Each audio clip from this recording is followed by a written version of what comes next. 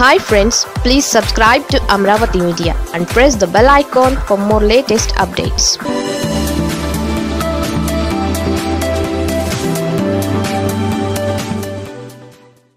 మరి ఎందుకు తిరుపతి బై ఎలక్షన్లో మీరు వారికి మద్దతుగా నిలబడి ఎందుకు ప్రచారం చేశారు? మొన్న జరిగినటువంటి బద్వేల ఎన్నికల్లో ఎందుకు మీరు వారికి సహకారాన్ని అందించారు? వీటెవరి వీ- దేనికి సమాధానం చెప్పరు. అంటే రాజకీయాల్లో అందరూ కళ్ళు మూసుకొని కూర్చున్నారు. మనల్ని ఎవరు పట్టించుకోవట్లేదు. మీరేమో మళ్ళీ వైఎస్ఆర్ కాంగ్రెస్ పార్టీ ఎంపీల్ని వైఎస్ఆర్ కాంగ్రెస్ పార్టీ ఎన్ని వాయిదా తీర్మానాలు ఇచ్చాం? ఎన్నిసార్లు పోడియం దగ్గరికి వెళ్ళి మన నిరసన తెలియజేశాం? ఎన్నిసార్లు తీసుకున్నటువంటి నిర్ణయాన్ని వెనక్కి తీసుకోవాలని చెప్పి రెండు సార్లు ముఖ్యమంత్రి గారు లేఖలు రాశారు. మా ఎంపీలు అనేక సందర్భాల్లో నిరసనలు తెలియజేశారు. మీ ఎన్ని చేస్తూ ఉంటే ఎందుకు ఏం తాకు కూర్చున్నారని అడుగుతా ఉన్నారు. తాకి కూర్చునేది మేము కాదు తాకి కూర్చుంది మీరు. ఎందుకంటే గాజువాక ప్రజలు మిమ్మల్ని ఓడించారనేటువంటి ఏకైక అక్కసుతో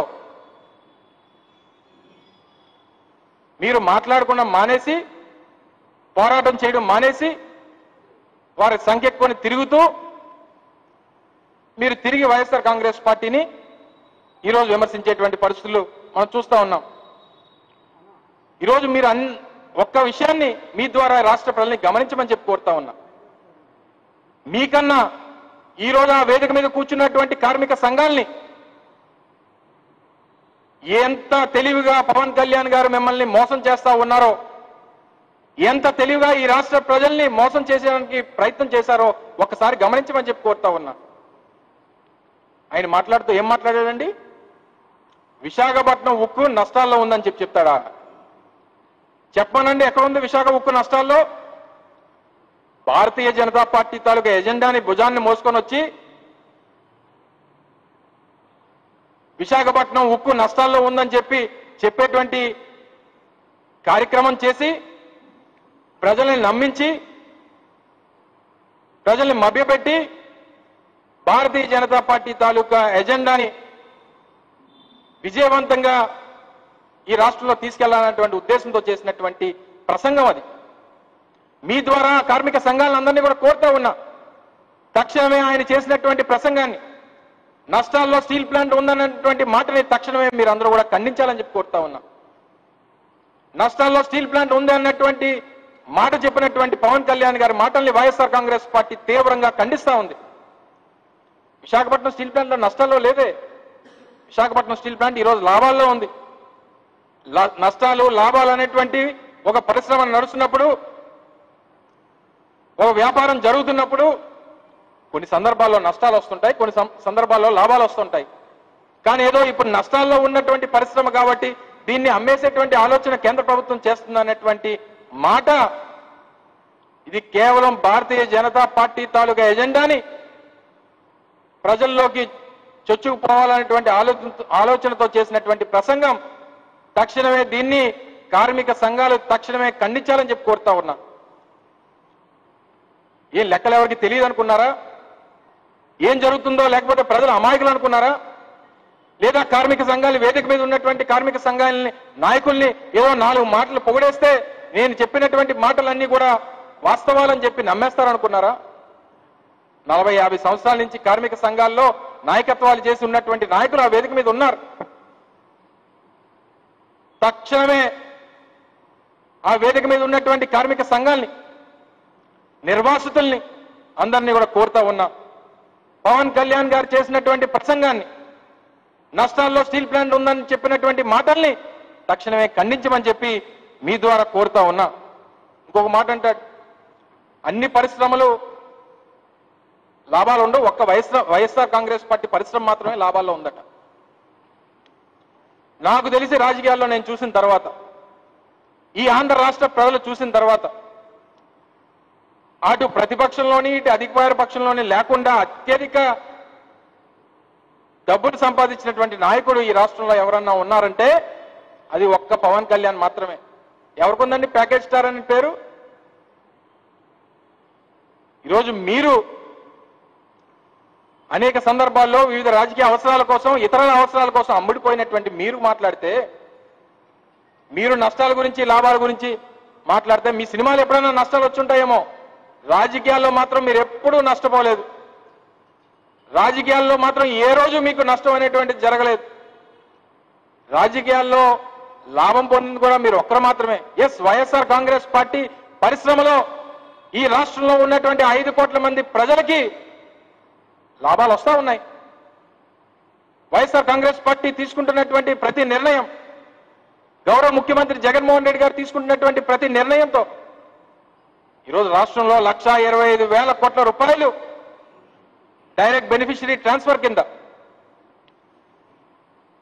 బడుగు బలహీన వర్గాలకి ఎస్సీ ఎస్టీ మైనారిటీలకి దాదాపు ఈ రెండున్నర సంవత్సరాల్లో లక్షా పాతిక వేల కోట్ల రూపాయలు డైరెక్ట్ బెనిఫిషరీ ట్రాన్స్ఫర్ కింద ఈ రాష్ట్రంలో ప్రజలకి పేదవాళ్ళకి పంచినటువంటి ప్రభుత్వం ఇది. నీ ఒక్కరిలాగా లాభాలు ఆర్జించి ప్యాకేజ్ స్టార్ లాగా పేరు సంపాదించినటువంటి నాయకులు కానీ రాజకీయ నాయకులు కానీ ఈ దేశంలో ఎవరన్నా ఉన్నారో ఒకసారి చెప్పండి. ఎప్పుడన్నా ఫోన్లో రీఛార్జ్ అయిపోతే రీఛార్జ్ చేసుకున్నటువంటి రీఛార్జ్ స్టార్వి? డబ్బులు అవసరం వస్తే ఆ పార్టీ దగ్గరకో ఈ పార్టీ దగ్గరకు వెళ్ళేటువంటి నాయకుడివి? డబ్బుల కోసం వాళ్ళ అవసరాలు వీళ్ళ అవసరాలు తీర్చేటువంటి నాయకత్వం ఇది కనీసం సిద్ధాంతాలు లేనటువంటి నాయకుడివి. రాజకీయాల్లో కనీసం విలువలు లేనటువంటి వ్యక్తివి. మాట్లాడినటువంటి మాట మీద స్థిరత్వం లేనటువంటి నాయకుడివి. నువ్వు కూడా మా గురించి మాట్లాడితే ఎక్కడ పెట్టుకోవాలి? మేము ఏం మాట్లాడాలి? ఇన్ని ఇన్ని మాటలు మాట్లాడేసి మళ్ళీ నన్ను ఒంటరిగా వదిలేసిపోయారు నన్ను ఒంటరిని చేశారు. అందుకే నేను పిరికి వాళ్ళ ఉండిపోయాను. మీరు అందరూ కలిసి వస్తే మీ వెనకాదలు నడిచి వస్తానని చెప్పి చెప్తా ఉన్నాడు ఇందాక. రాజకీయాల్లో ఒంటరిగా పోరాటం మొదలవుతుంది. అది జగన్మోహన్ రెడ్డి గారిని చూసి నేర్చుకో.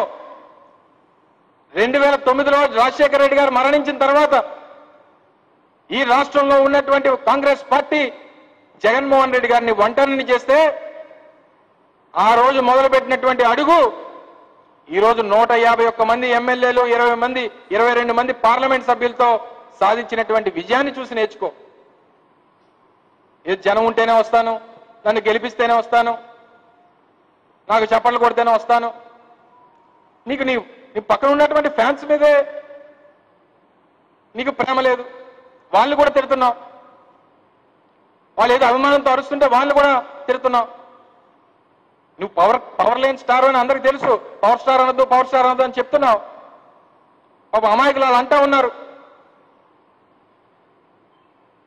ఇవన్నీ దయచేసి ఇటువంటి రాజకీయాలు ఇంకా ఎవరి భుజం మీదో తుపాకి పెట్టి పేల్చాలనేటువంటి ప్రయత్నాలు మానేసుకొని నీకు నిజంగా నీతి నిజాయితీ అనేటువంటిది ఉంటే రాజకీయాల్లో కొనసాగాలనేటువంటి ఆలోచన ఉంటే ఒక స్థిరమైనటువంటి సిద్ధాంతం స్థిరమైనటువంటి నిర్ణయాలు రాజకీయపరమైనటువంటి ఆలోచనలు రాష్ట్రానికి ప్రయోజనం కలిగేటువంటి ఆలోచనలు రాష్ట్ర ప్రభుత్వానికి ఏదైనా సలహాలు ఇవ్వాలన్నటువంటి ఆలోచన వచ్చినప్పుడు ఈ రాష్ట్ర ప్రజలకు ఉపయోగపడేటువంటి విమర్శలు చేసినప్పుడు డెఫినెట్గా స్వీకరిస్తాం. కానీ ఎవరి గురించో వచ్చి దయచేసి వైఎస్ఆర్ కాంగ్రెస్ పార్టీ ప్రభుత్వాన్ని నిందించ నిందించడం ఎవరి ప్రయోజనాల కోసం వచ్చి ఇక్కడ మాట్లాడడం ఎప్పుడో రెండు వందల అరవై రోజుల నుంచి జరుగుతున్నటువంటి పోరాటానికి ఈరోజు వచ్చి మాకు డెడ్ లైన్లు ఇవ్వడం. ఈరోజు YSR Congress party steel plant ప్రైవేటైజేషన్కి వ్యతిరేకంగా ఉన్నటువంటి నిర్ణయాన్ని గతంలోనే మొదట్లోనే చెప్పాం. దానికి అసెంబ్లీలో తీర్మానం చేశాం. దాని మీద పోరాటం చేస్తా ఉన్నాం. దానికి కట్టుబడి ఉన్నాం.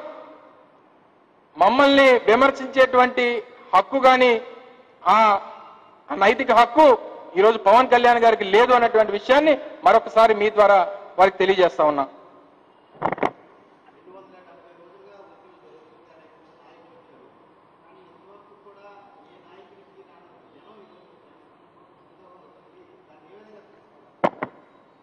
సి ఆయనది కూడా ఒక రాజకీయ పార్టీయే.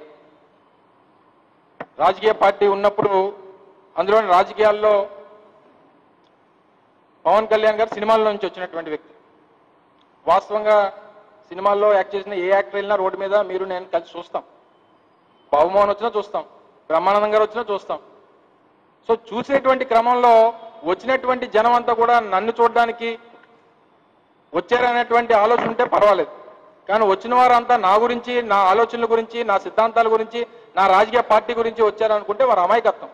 సో అలాగని చెప్పి జనాన్ని చూసి మనం మోసపోయాం అనుకోండి దానికి వారు దాని మీద నిర్ణయం చేసుకోవాలి తప్ప జనం వచ్చారు కదా అని జనం ఎప్పుడు రాలేదు?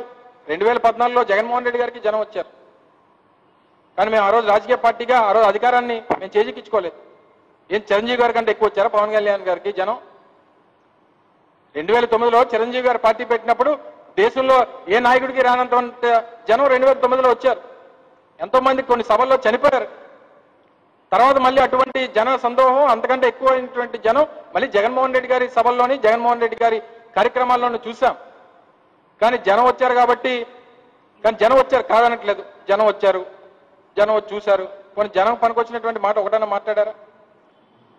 లేదా పరిశ్రమకు సంబంధించి కాపాడేటువంటి కార్యక్రమం ఏదన్నా మాట్లాడారా? కనీసం కేంద్ర ప్రభుత్వాన్ని కనీసం ఒక మాటన్న పల్లెట్టు మాటన్నా మాట్లాడారా? నేను కోటి మంది జనాన్ని తీసుకొని వచ్చి నించోబెడతా. నా అవసరాల గురించి నేను మాట్లాడుకుంటే అందులో అర్థం లేదు. అటువంటి కార్యక్రమం ఈరోజు జరిగింది అనేటువంటిది మా అభిప్రాయం.